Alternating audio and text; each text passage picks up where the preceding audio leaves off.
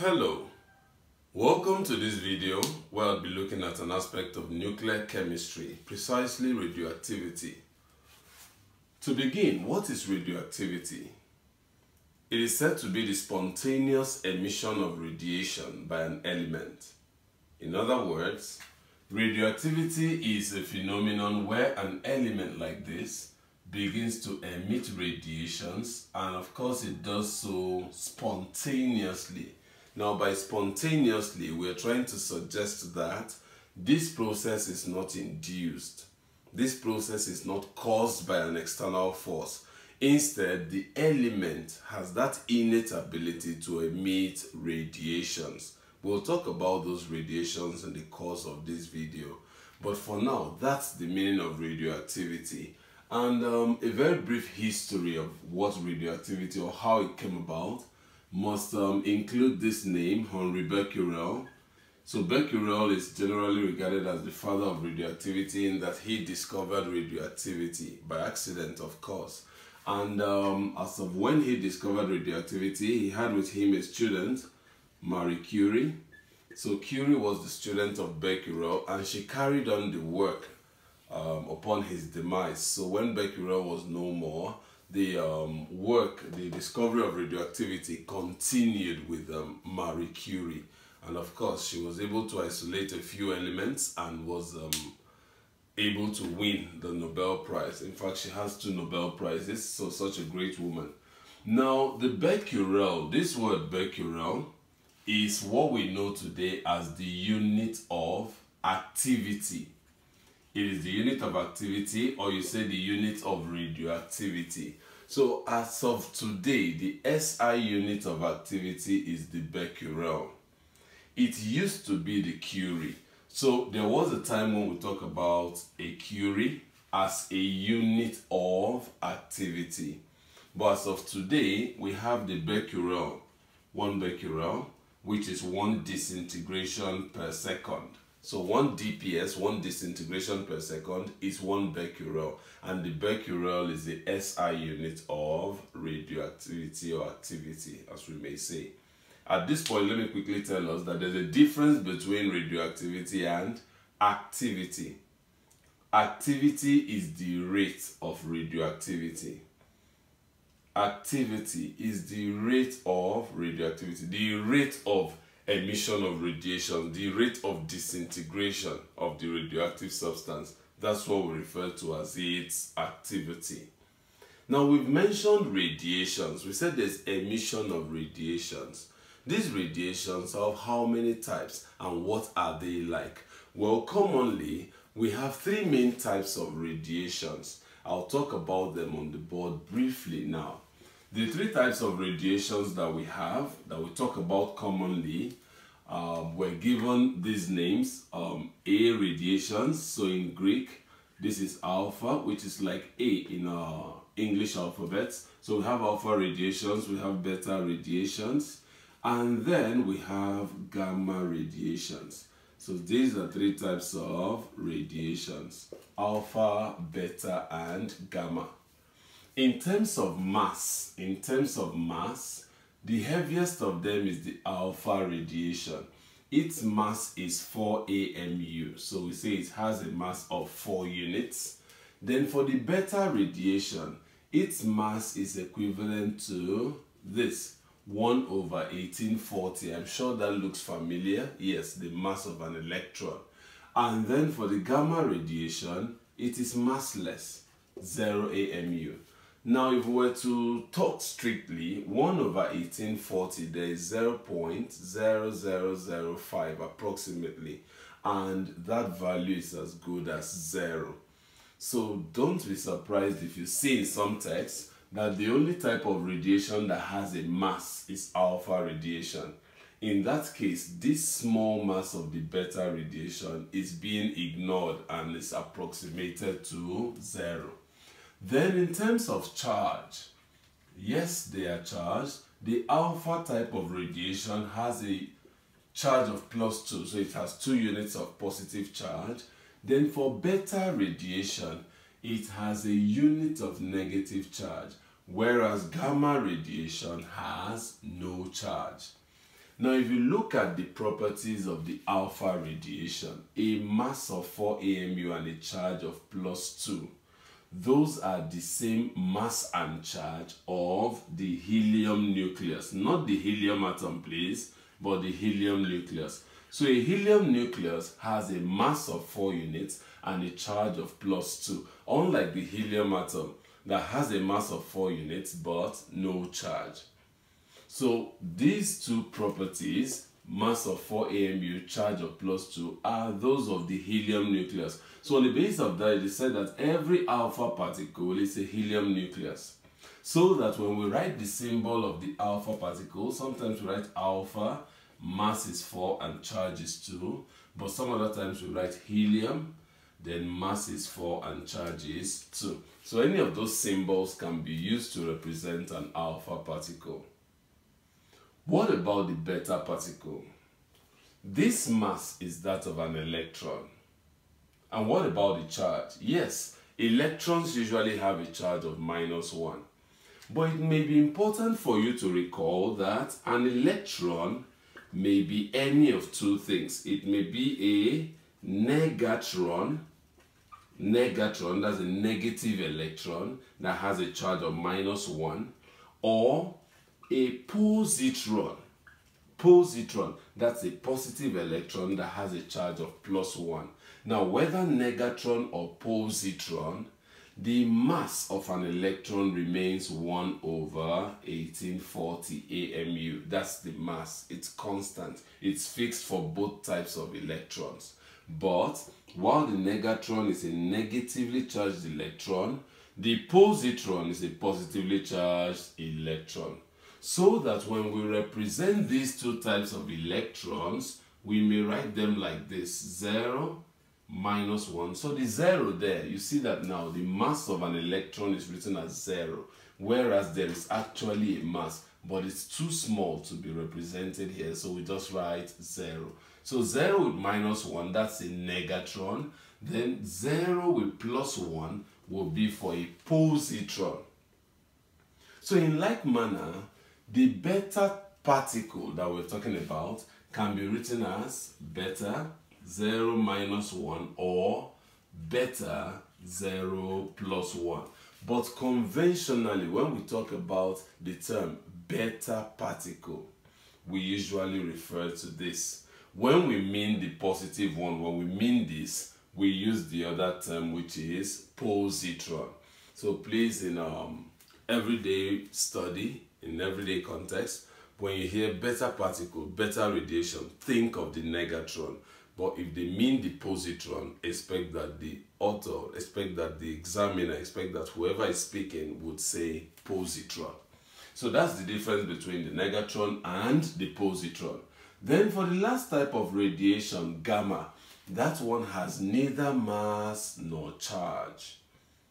I'll show you a few equations to show how these guys are emitted from nuclei. So consider a nucleus like the uranium-238 nucleus. Let me show you the uranium-238 nucleus now.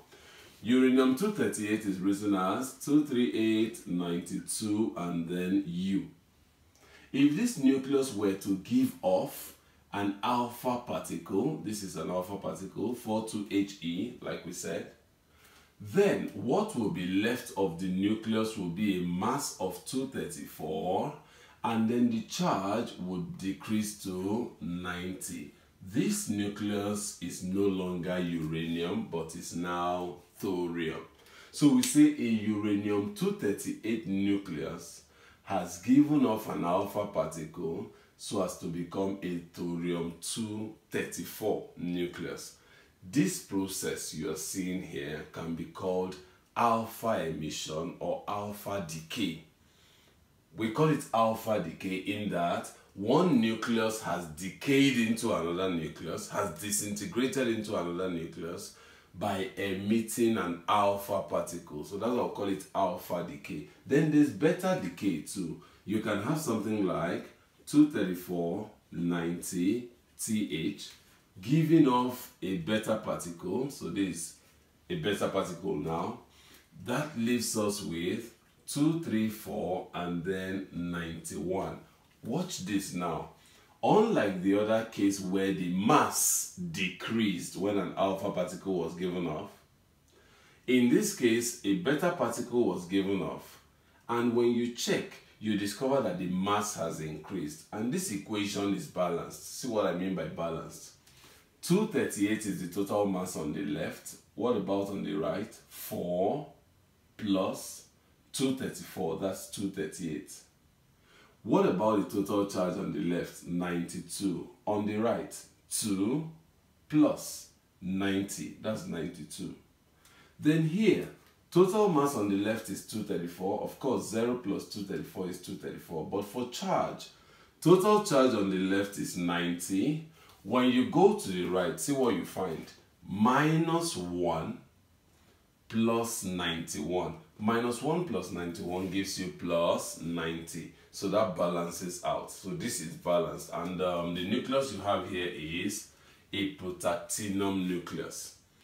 So what you are looking at in this second case is called a beta decay. So this is alpha decay and this other one is beta decay. But there's something very important that you must take note of. And that is the fact that there is nothing like gamma decay.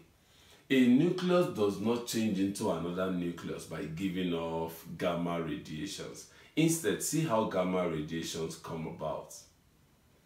Gamma radiations are usually emitted, are usually sent off anytime alpha or beta radiations are emitted. It means that gamma radiations are not emitted on their own usually. Instead, they accompany the emission of alpha or beta particles like this. When this uranium-238 nucleus gave off this alpha particle, it became a thorium-234 nucleus that was in an excited state. So the nucleus formed from alpha or beta decay will usually be formed in which state now? The excited state.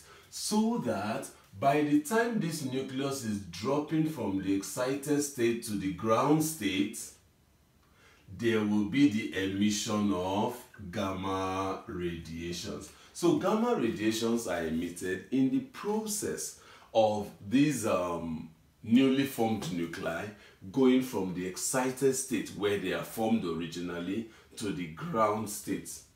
So in the case of this one now, this is beta decay. When a beta particle is lost, a thorium-234 nucleus of course has become a protactinium-234 nucleus. But this protactinium-234 nucleus is not formed in the ground state. Instead, it's formed in the excited state. And from that state, it's going to drop.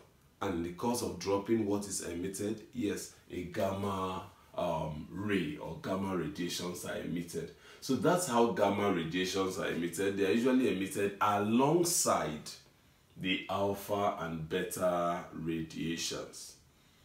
Alright, so having talked about those three types of radiations, there's a fourth type of radiation that I would have loved to mention. Anyway, I'll talk about it. That is the X-ray. I'll tell you about X-rays. But for now, I want to quickly show you something. Let's say you have a nucleus. Of course, within a nucleus, the particles you have present are protons and neutrons. So I want to show you here what happens when a proton changes into a neutron and what happens when a neutron changes into a proton. Look at this now. This is a proton, we write 1, 1, and then this is a neutron, 1, 0. If you were to balance this equation, of course, before balancing, remember, we want to see what happens when a proton changes into a neutron. If you were to balance, the mass here is 1 and the mass there is already 1. So whatever I'm adding here must have a mass of 0. So that 1 plus 0 is 1, balanced. Then for charge, this is plus 1. That's 0. So it means whatever I'm going to put here would have a charge of plus 1. I'm sure you are seeing already that that is a positron. So positrons are usually formed when the protons in a nucleus change into neutrons. Then on the other hand, if a neutron were to change into a proton, so this is a neutron now, changing into a proton. Let's balance the equation and see what kind of particle would be emitted. In this case, I have 1 and 1 so that down there the mass is still 0 but for charge this is 0 overall on the left on the right this is plus 1 the only way I can get a 0 on the right is to have minus 1 there so it means that from both equations now when a proton changes into a neutron what is given off is a positron. Whereas when a neutron changes into a proton, what is given off is a negatron. So positron and negatron, this is how the two of them are usually given off from a nucleus. It could easily involve a proton changing into a neutron or a neutron changing into a proton.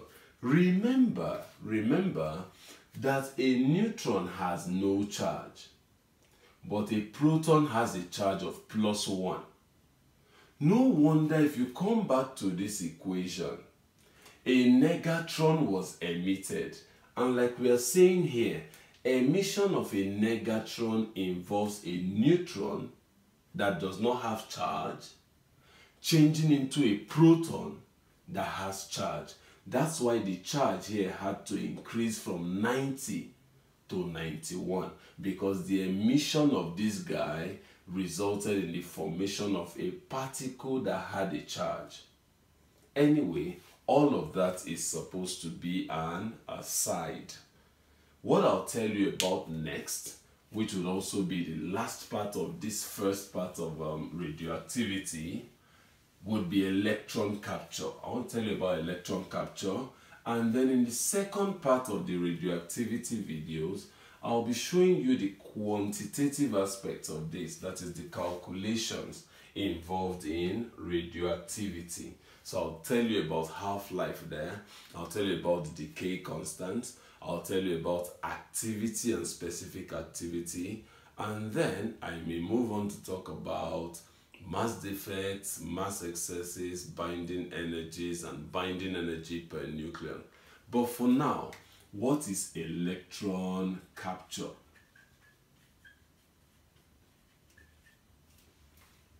Electron capture is also written as E capture. And if you don't write it as E capture, you may also write it as K capture. I'll tell you why. Of course, it can be written as E capture because the electron is the E there, so electron capture. Now, ordinarily, here you have a nucleus, and then surrounding the nucleus are the electrons. So let's just represent the atom this way. So this is an electron, that's an electron, electron, electron. Now, this nucleus is positively charged whereas the electrons are negatively charged. So that as the electrons orbit around the nucleus, it could so happen that an electron is captured by the nucleus. Now, when an electron is captured by a nucleus, think about it. Let's say the nucleus had a charge of plus 20 prior to the capture. By the time this nucleus of plus 20 charge captures an electron of charge minus 1, what do you expect to happen to the charge of the nucleus? Of course, it will reduce. So plus 20 minus 1 will give us plus 19. So this is what happens during electron capture. And I tell you, that's the same thing that happens during the emission of a positron. So positron emission and electron capture have exactly the same effects. We've taken this off, but you could rewind this video to look at your beta emission or beta decay. During beta decay, what happens to charge? The charge will increase by 1. Why does the charge increase by 1? We said because the beta particle that was given off was negatively charged, 0 minus 1 beta. So if the emission of this negative beta would increase charge by 1, then the emission of the positive beta, which is a positron, will decrease charge by 1. And that's the same thing that happens when there's electron capture. So anytime you see the charge of a nucleus decreasing by 1, then it tells you that what has taken place there is either electron capture or positron emission. Now, having said that, having said that, um, the next thing we have here is to look at the electron. We said an electron is captured. We've talked about the consequence on the nucleus that the charge will reduce. But that electron that is to be captured, where would it come from? Of course, the nucleus would not capture an electron from outside when there are electrons close to it. So the electron to be captured is usually an electron from the K shell, which is the innermost shell. And that's why electron capture is also called K capture, because the electron to be captured is usually from the K shell.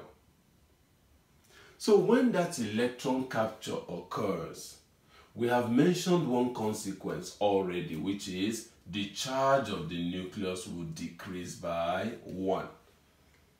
But apart from that, remember that this K shell would usually have two electrons, which is the max, but with one of them having been captured by the nucleus, that one would get a replacement. How do I mean? Another electron from the next shell, which is the L shell, will fall back to replace that electron that was captured. And in the course of an electron falling back from a high energy level to a lower energy level, remember that the shells are also called energy levels. And of all these many shells, the lowest energy level is the K shell. So that if an electron is falling from the L shell back to the K shell to replace the electron that was captured, there would be release of electromagnetic radiation. What is released in that case is called the X-ray. So X-rays are released. There are actually different ways uh, X-rays are obtained. But this is one way that we encounter X-rays in that during electron capture, an electron falls from K into the nucleus, then another electron from L falls back to replace the electron captured from K. And the energy difference between these two is what manifests as the release of an X-ray. So X-rays are released when outer electrons fall in to replace inner electrons that have been captured. So that's what we call electron capture or K capture. So K capture is a common thing. It happens very commonly in um, in nuclear chemistry. But beyond this one, beyond what we've shown now, I am more interested in the second video where we'll be talking about um, the quantitative aspects of this. We talk about the calculations, we look at half-life, we look at decay constant, and then activity, very important because for some, calculations on activity and specific activity can be very confusing but I'll give you a formula there and that formula will serve it will turn out to be very useful for most questions if not all questions that you will encounter on activity and specific activity. So I'll see us after the break in that next video